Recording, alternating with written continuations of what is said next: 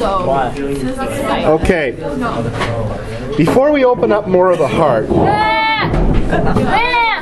first of all, I'd like That's poor Boo Boo. Gentlemen, before you shout anything out, remember you are being recorded. Okay. Uh, before I show you some of the parts I've opened, I'd like to show you the the outside of the heart. The outside of the heart is basically a sort of a, a triangular. There's a little bit of blood dripping out of it here, not much. Uh, sort of like the sort of heart shaped. It's uh, it's pointed at the bottom and wide at the top. At the top here, you can see these blood vessels. Awesome. This would be the pulmonary artery here. This would be part of the aorta. There would also have been veins that came into this area, but, but, but when the heart was removed from the deer, some of the veins were cut through, so you don't see as many of the veins left as would have been there before. Uh, I've already. Now, the other stuff, does anybody know what this white stuff here is around? Fat. That's fat deposits, that's right. That's fatty material around the edge of the heart. The, f- the, the fat, produce, fat serves two purposes for the heart. What are the two purposes, do you think? It's protection, it cushions the heart. So the fat helps cushion the heart and it insulates, keeps the heart nice and warm. So that's a couple of things that the, the insulation does. Who killed this thing? This was shot by a student in one of my other in my other class, What's his name? uh, Stephen. Steven. Now, Kinnan? Yeah.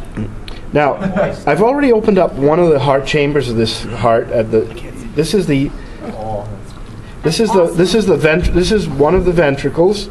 This was what we would refer to as. Yeah, sorry, and I also should show it to the, the camera as well. Yes, Can you take a Picture of this, sir. You. Yes, yes. Uh, I will allow pictures in a moment. Uh, I'll, I'll, uh, in a minute or two, I'll let people take bring out cameras and take pictures, but not constantly.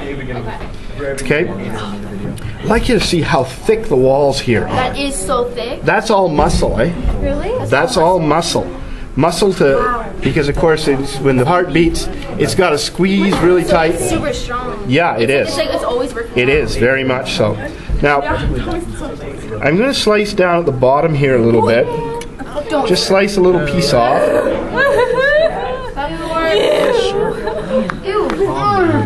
Now, It's so bad. It looks like Dude, let's Can I cut it? Can I cut something? what does it look like? looks like It looks bean. like ham, or not ham, but um. Sir, can we Looks like beef. Looks like a piece of steak or something, right? It looks like filet mignon or No, it looks like liver. Sir, can we cook it? Now, Can I cut? actually, in many places, people do cook and eat heart. Yes. No, that was just my question.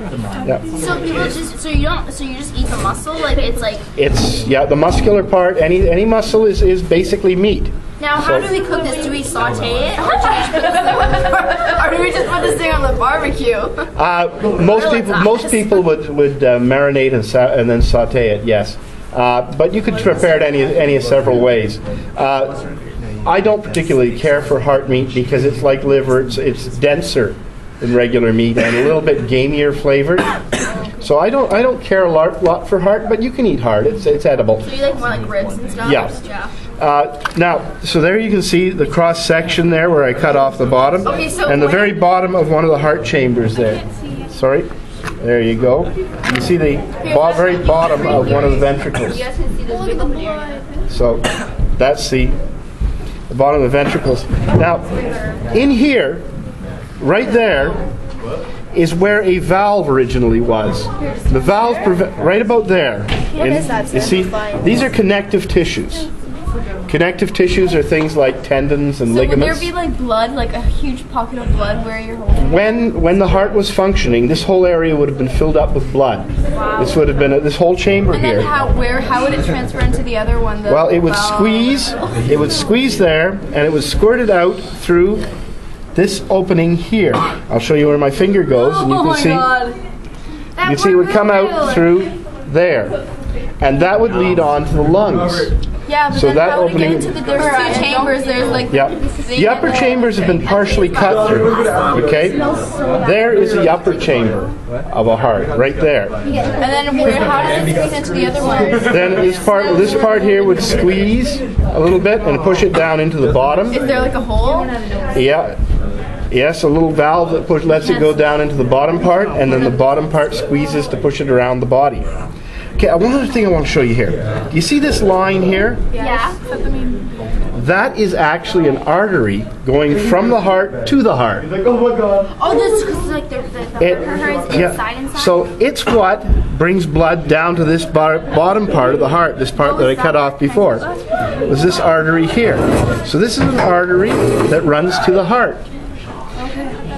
If you were, if anything were to plug up, Be quiet. if anything were to plug up that artery there, if something plugged up that artery, it would kill the bottom part of your heart. It would damage the bottom part of your heart. That's what we call a heart attack.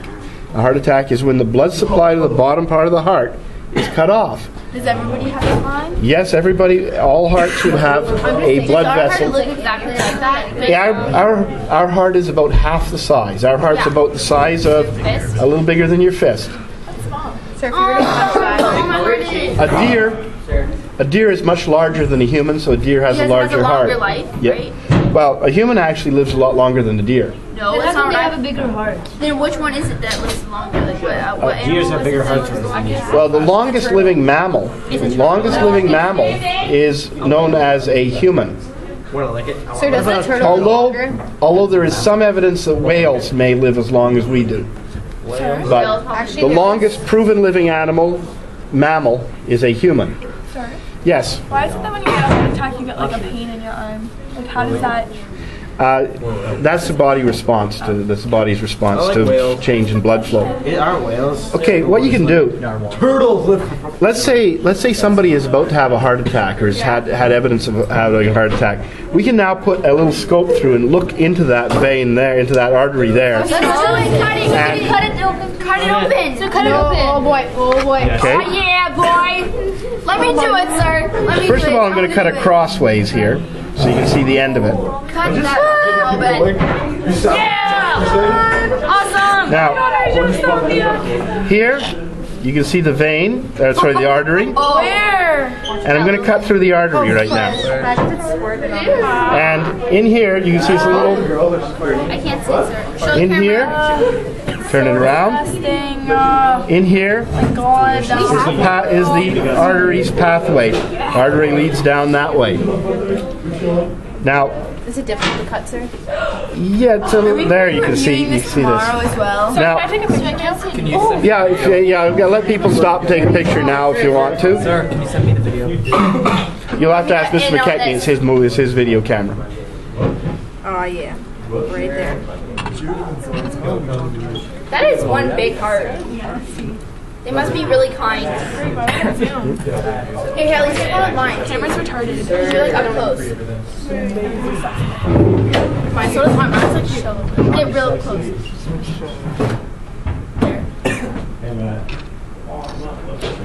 I think Awesome. its natural oh, color? so gross. I it. It changed because it's. In uh, when it was alive, it would have been a little bit redder, a little bit brighter, but it's pretty close to its natural color.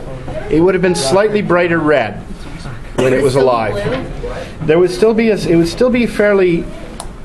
It would not be quite as blue as this. It would be a little bit more red, because that's because the blood would be a little bit more. Uh, a little bit more, a little fresher in, in a live heart and in a live acting heart. Okay, now I'm about to going to cut, do the final thing here.